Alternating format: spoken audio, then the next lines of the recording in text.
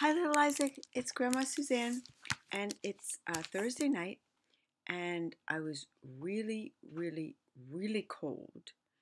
So I made a fire in the wood stove, and it is so nice and toasty warm now. And I'm going to show it to you if I'm able to angle the camera this way.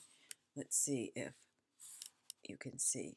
It's a really warm fire, and it's beautiful. I mean, it's filling the whole thing up with light, but it's also one of the warmest fires I've made so that my multiple layers are becoming less and less necessary. But let's read. This book is called um, Over in the Wetlands A Hurricane on the Bayou Story. It looks quite beautiful.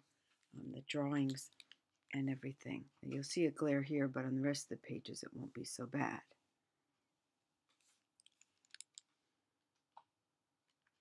On the back it says, Angry clouds are gathering low. Water churns in the undertow. Fi uh, fish dive deep. They sense the squall. The hurricane stirs. The hurricane crawls. And they show a picture on the back the fish underwater. But again, because of the glare of the shiny cover, it's going to be hard to see. So let's go on and read the pages inside where it's going to be easier to see. There is a beautiful story. Now, I haven't been at the beach in a hurricane, thankfully, because it could be pretty dangerous. I've been there in storms, and it's beautiful when they're sort of gentle storms. I'm going to show you the pictures, but first I'll read what's on each page. Over in the wetlands, where the silky mist weaves, dragonfly lights on a slender reed. Bending toward the bayou, she dips one wing, rippling the water as it creeps downstream. Gentle as a whisper, too soft to hear, a faint breeze hints that a storm draws near. Here's the picture. Let's see if we can see the dragonfly who's right there. Right there. And since these, it's a long book uh, physically, but I want you to see all this beautiful picture because it's really pretty. Really evocative sort of painting.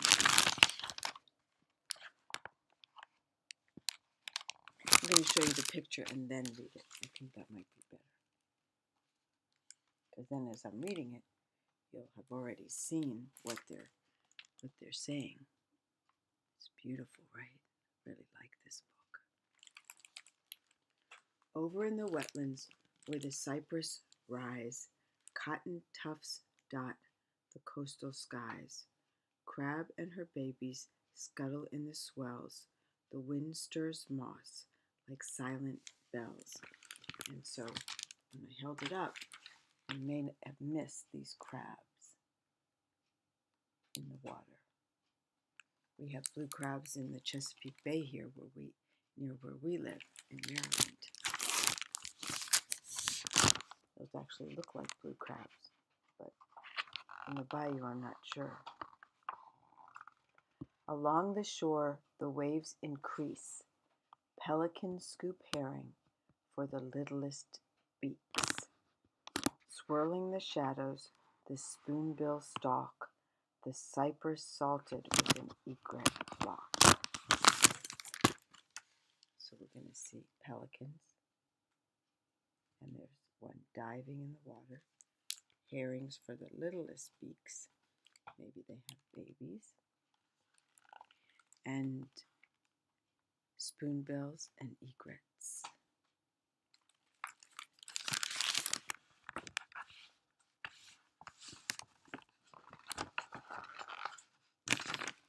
Over in the wetlands where the bayous run, alligator minds her restless ones.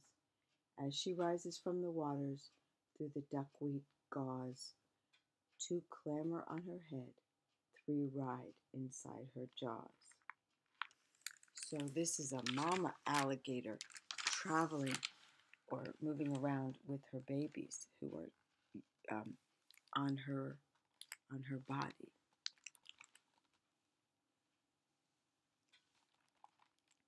Which is kind of fun to see in a way that three um, is that three of them or two of them? No, three inside her mouth, two on top of her head.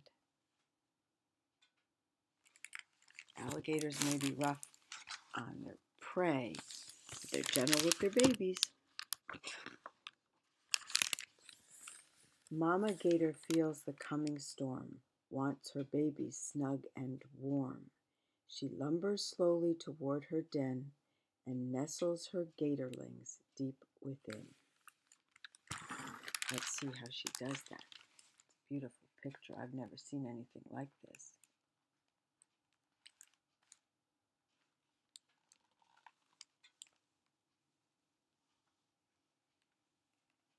She's making sure that they're safe because she knows a storm is coming too.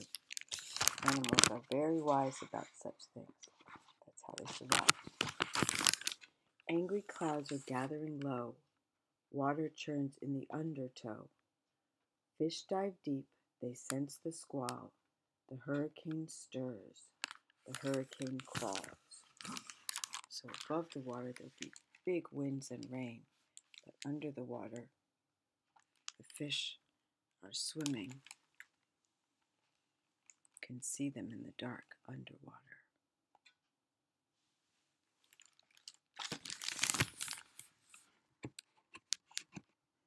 I guess the fish dive deeper when a storm is coming.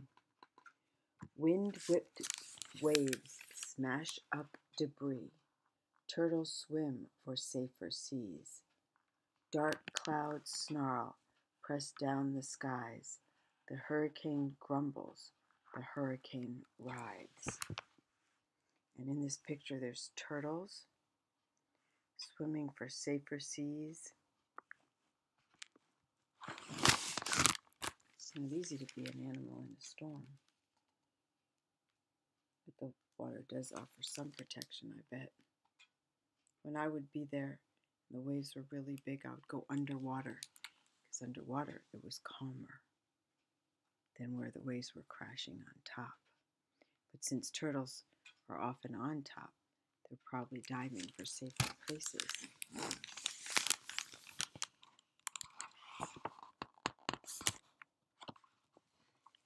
Egrets cower between cattails from pelting sand and screaming gales. Frothing sea foam streaks the shore. The hurricane twists. The hurricane roars. It's got to be tough to be above the ground. Pelting sand and screaming gales, frothing sea foam. Plus the wind, just intense wind.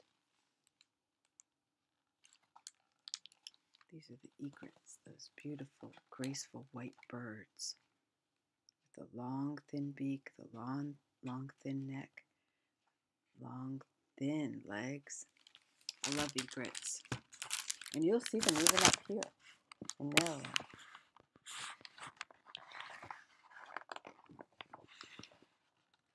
Marsh grass clutches the sandy loam. Tupelos crack, willows moan. Floodwaters rise, rain streams down, the hurricane drenches, the hurricane drowns. Look at this. It's just hard to see because it's nothing but dark, dark in the storm, wind and crashing rain. Let's see if I can, glares a little bit, makes it hard to see.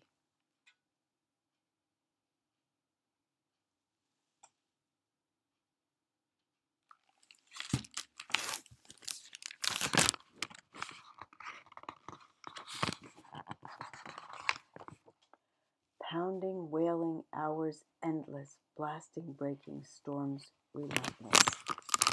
We had a hurricane up here, that's really what it was like. It just felt endless and frightening just to hear it and wondering what destruction and danger was going on outside. And in this, if I hold it at the right angle, I think you can see the sense of the driving, driving rain, the darkness, the pelting wind and rain. Makes you glad to be inside and safe with a fire in the fireplace and cozy and warm and safe. Over in the wetlands where the bulrushes dance, clouds fade over the great expanse.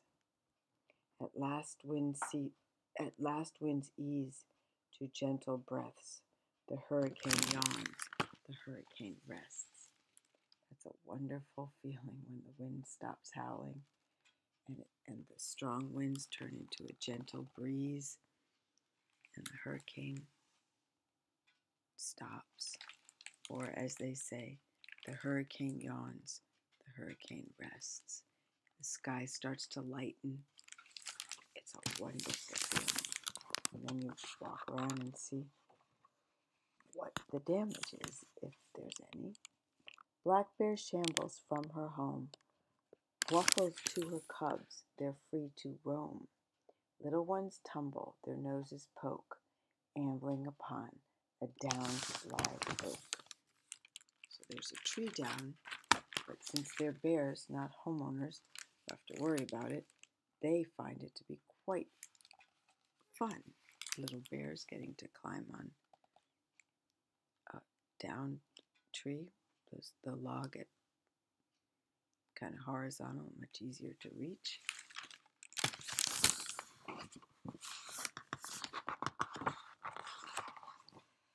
Over in the wetlands, where the sun sinks red through branch, though, sorry, get it closer.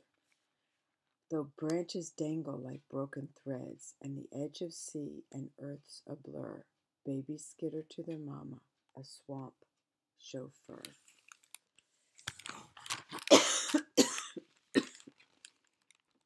Can you see the mama? A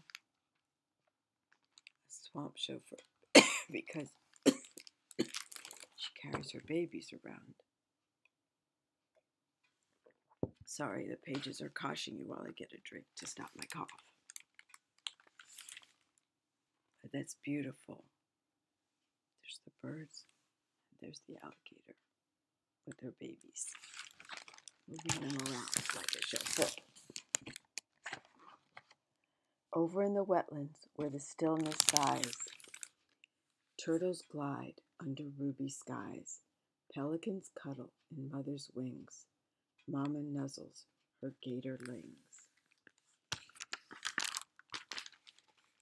This is after the storm, the beautiful sunset, mama alligator with her baby gators, the pelican with, with her babies and the beautiful, beautiful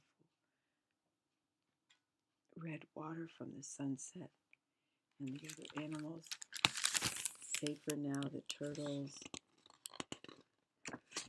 A turtle seat safely just sitting on a, a log again. Those might be turtles, I'm not sure. Fish under the, under the water. Over in the wetlands, in the dead of night, dragonfly flits through the starry night. The swampland stretches all around, jumbled, peaceful, steady sound. Storm's over. The dragonfly's back. How does a dragonfly survive a storm? It's tiny, but they do. And in the distance, you can see a pelican on the I think that's a pelican on the log. Not a pelican, sorry, an egret. Look at the moon. And that's the end. I have to type this in again because I let the screen go. We just have a few more minutes. But that's the end of this wonderful book and beautiful drawings. And it's um, we'll read this another time, but it's about the author's note about the storm and a map of where the bayou is that she's writing about in the hurricane. And this is about um, the animals in the book. So we'll read that another time. But anyway, that was a nice story about um, nature and nature when it's rough, but how afterwards goes back to being calm and the animals know how to survive. And so do we. I love you, little Isaac. See you soon. Stay safe and warm. Nice calm winds, thank goodness. Bye bye.